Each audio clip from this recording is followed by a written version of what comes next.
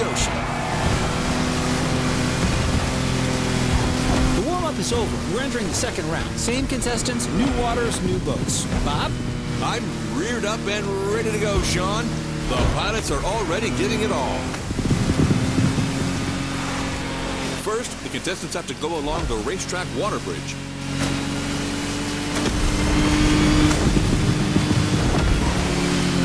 This is not over. Anything can happen.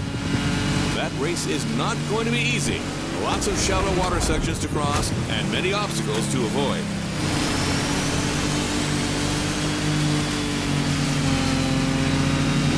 That's quite a different lineup that we have here compared to our first aquatic ride. We're going bigger, faster, meaner. I can see that. Check out this boat. It looks like it's calling for blood. The Ice Marine Blade Runner 35. British origins, extremely slick design, a boat that catches the eye. Careful with the rocks.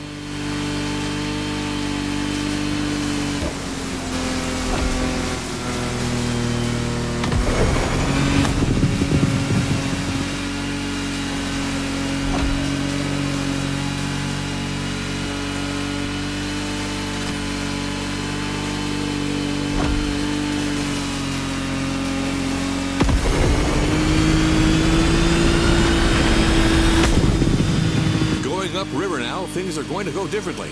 Shallow waters, narrow paths.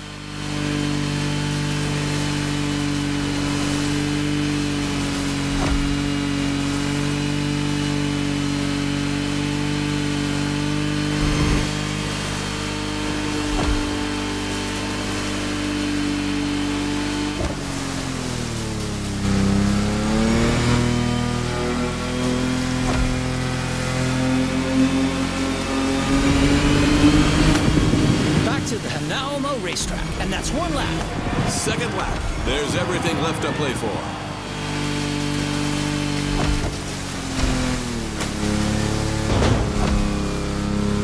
A quick shout out to our friend and colleague Ray Waller, who's hosting the equally remarkable motorsports series just nearby at the Nahoma racetrack.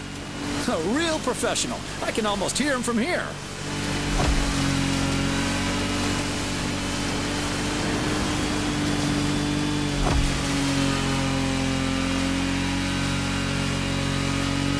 Comes the jump.